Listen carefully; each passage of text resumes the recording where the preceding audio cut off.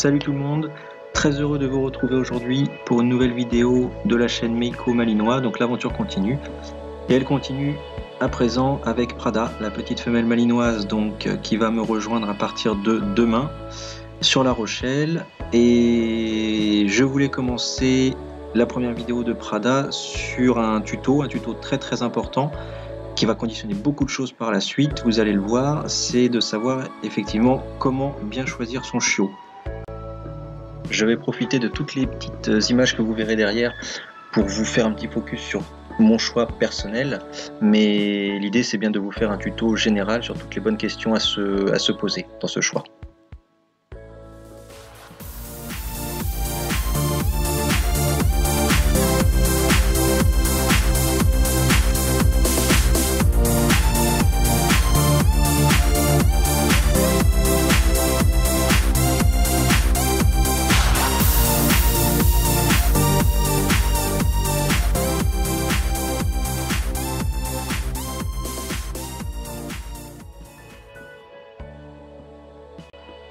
Premier point, il s'agit en fait de, choisir le, chiot en fonction de sa race, ne, pas craquer sur un coup de tête sur la beauté d'un chien euh, quel qu'il soit, mais plutôt de se renseigner au préalable sur une race qui pourrait correspondre à nos besoins. On a tous un mode de vie différent, des caractères différents, une expérience différente. Euh, il faut que le chien puisse rentrer dans ces cases. On, va essayer euh, d'avoir un chien qui rentre dans nos cases plutôt que de faire rentrer un chien lambda dans des cases pour lesquelles il n'est pas prédisposé en fonction de sa race et de son, caractère. Donc l'idée, ça va être de se dire euh, si j'ai du temps à lui consacrer ou pas, si je vis en appartement ou en maison, si je suis sportif ou pas, si je veux un chien qui soit plutôt euh, tranquille ou plutôt énergique, enfin ce, genre de choses. Donc tout ça, c'est à réfléchir en amont. En faisant un focus sur le malinois, euh, je peux vous assurer que si vous n'êtes pas avec un minimum d'expérience, si vous n'êtes pas sportif, si vous n'avez pas de temps à lui consacrer, euh, bon, c'est pas la peine si vous n'êtes pas dans une optique de le faire travailler. Euh, voilà, prenez-en un en photo et c'est tout. N'allez pas acheter un, malinois, euh, même si vous aimez cette race, ce serait le, rendre malheureux et, justement cette race a été plébiscité et via un effet de mode a été le chien le plus vendu il y a deux ans, ça a été aussi le chien le plus abandonné dans l'année qui a suivi, puisque euh, étant assez spécifique en, plus, c'est une catastrophe, personne n'arrivait à gérer ces, chiens-là.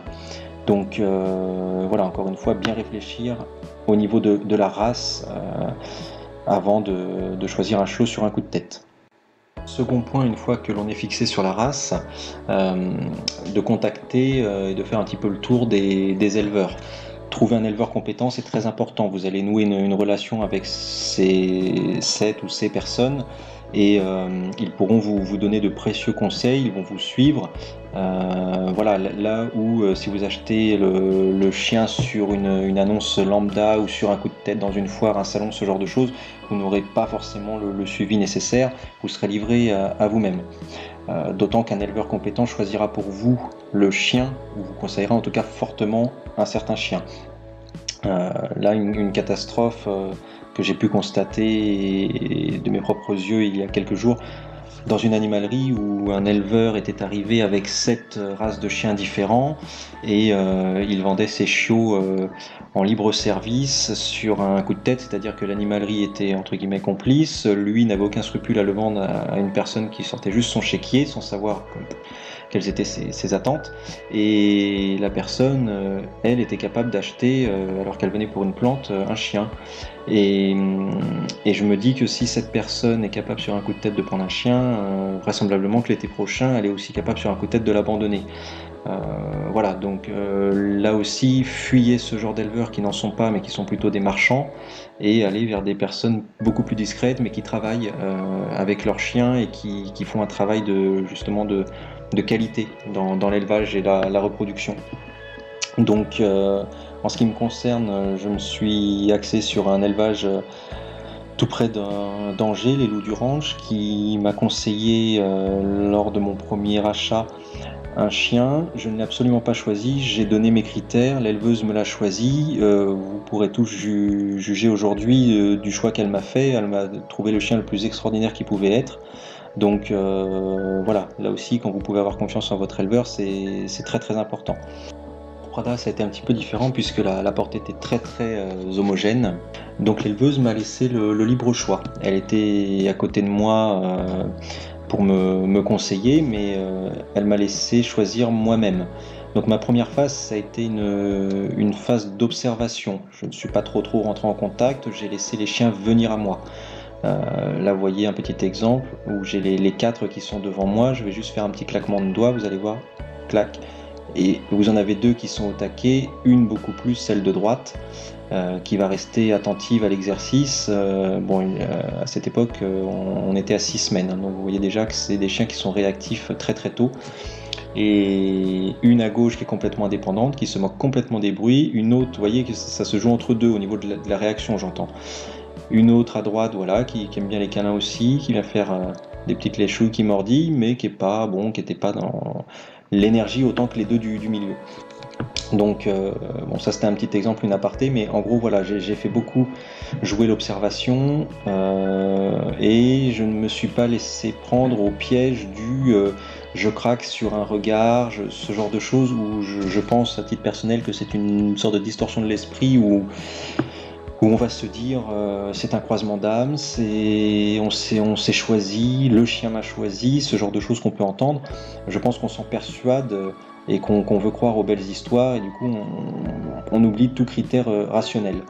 Donc moi je suis resté avec les, quatre chiots euh, en éliminant progressivement pour arriver à mon choix final et je suis passé euh, pour être honnête, euh, euh, on va dire trois, trois choix potentiels. Il y en a une qui a été écartée assez vite, mais sur les trois autres, je pouvais me dire bon bah c'est celle-ci et rester bloqué dessus, ce qui aurait été une erreur. Vous voyez, j'étais plus bloqué sur celle qui est en bas au départ, et puis Prada qui arrive là entre mes jambes est arrivé après, mais je m'en occupais un peu moins parce que j'étais plus axé sur l'autre et ainsi de suite. Donc si je m'étais fermé en me disant c'est celle-ci, elle m'a choisi, vous voyez, je serais passé à côté de Prada finalement.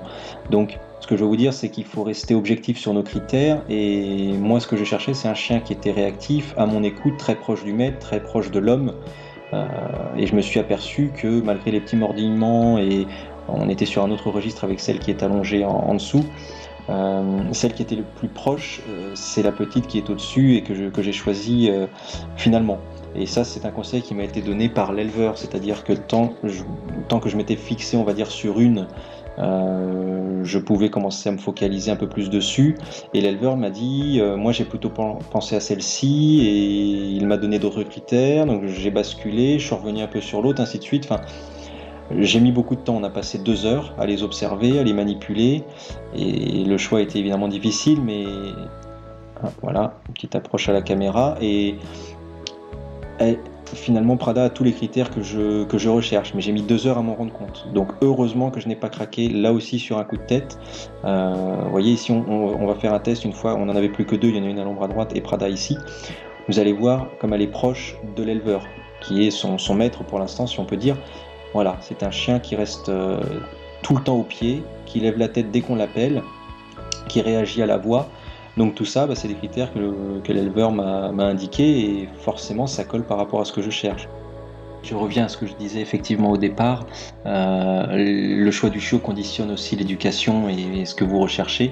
C'est un chien ici qui va forcément réagir beaucoup plus au rappel, ce sera plus facile de le travailler que ce chien par exemple au pied de, l'arbre qui est plus sur son confort, qui n'est pas dans la sollicitation permanente, qui aime son confort plus que l'homme, entre guillemets, euh, alors que Prada est plutôt sur, euh, sur l'inverse.